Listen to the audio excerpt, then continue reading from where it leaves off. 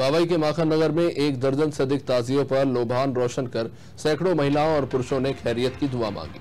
मोहम्मद इमाम हुसैन की शहादत पर उनकी याद में रोज़े के रूप में ताजिए बनाकर मनाए जाने वाले मुहर्रम पर स्थानीय मंगलवारा बाज़ार स्थित रामलीला मैदान में एक दर्जन से अधिक लोगों ने नमाज़ अता करने के बाद ताजिए उठाकर जुलूस के रूप में तवा नदी के रजौन घाट पर स्थित करबला में ताजिए को विसर्जित किया।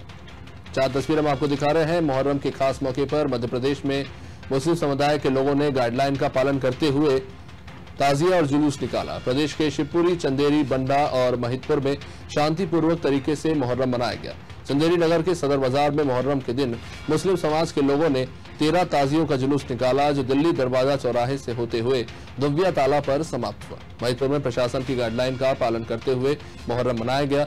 सभी मोहल्ले की ताजियों को अपने अपने स्थानों पर रखकर बच्चों और सभी जायरीनों को शरबत पिलाया गया और मिठाइयाँ भी बांटी गई। सभी लोगों ने कोविड की तीसरी लहर के प्रकोप से बचने की दुआ मांगी। मंडा नगर में मुख्य मार्गो से ताजिए और जुलूस निकाले गए। इस्लाम में मुहर्रम को गम का महीना माना जाता है। इसमें मुस्लिम समाज, खासकर शिया समुदाय के लोग महीने के नौवे या दसवें दिन में रोजा रखते हैं। मुहर्रम में हज़रत इमाम हुसैन समेत करबला के बहत्तर शहीदों की याद को की शहादत को याद करते हुए मातम मनाया जाता है।